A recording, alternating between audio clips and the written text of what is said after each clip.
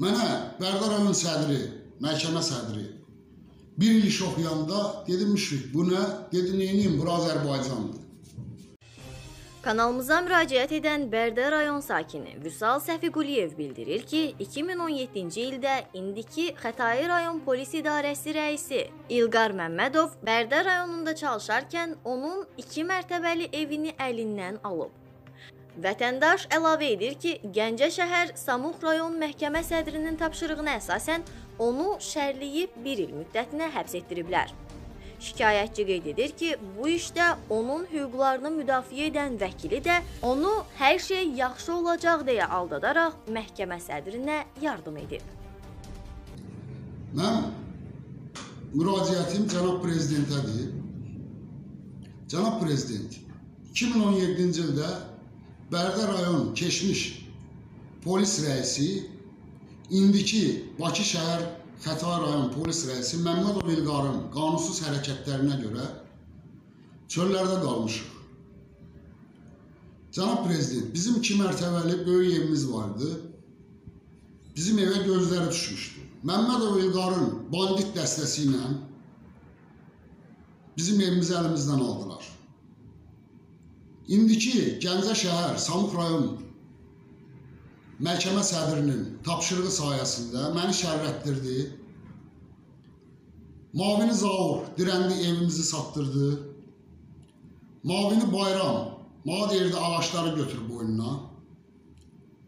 Məni döyərək, cənab prezident, polis bölməsində o vəziyyətdə də məni gətdilər Bərdar rayon prokuraturasına. Prokuror mənə baxdı, dedi səni döyüblər. Mən dedim, xeyr, məni döyməyiblər. Çünki baxanda prokuror adamdır, görmür mən nə vəziyyətdə, nə gündəyəm. Hamısı bilir vəziyyəti, cənab prezident.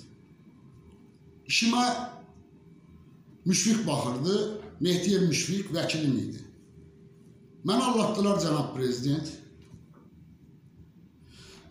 Mənə Mehdiyev müşfiq dedi, hər şey bitdi, yaxşı olacaq, eviniz də qayıdacaq, get qol çək. Mən dallandım, neyniyim? Kasıb adam, yetim adam. Mənə Bərdar rayon sədri, məhkəmə sədri bir il iş oxuyanda dedim Müşfiq, bu nə?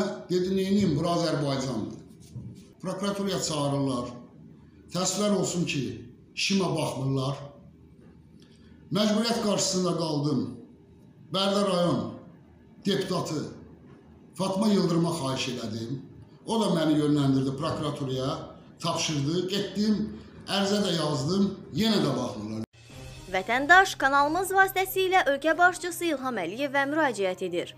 O, bu məsələnin araşdırılmasını və evinin özünə qaytarılmasını xahiş edir. Sizdən çox xahiş edirəm, cənab prezident. Çünki mən ailəliyəm, qalmışam çöllərdə. İkinci qrup, Əlim qardaşım var, o da ailəlidir, qalıb çöllərdə. Siz Çox humanist insansınız, cənab prezident. Sizdən çox xahiş edirəm. Bizim işimizə baxılsın. Mən inanıram, ümidimi üzmürəm ki, cənab prezident. Bir dənə ümid yerimiz sizsiz. Xahiş edirəm sizdən. Bizi bu dərddən bəladan qutarın. Çünki nə qədər çöllərdə qalmaq olar, cənab prezident. Xahiş edirəm, çox xahiş edirəm sizdən. Qeyd edək ki, Kanal 13 olaraq qarşı tərəfin fikirlərini dinləməyə və səsləndirməyə hazırıq.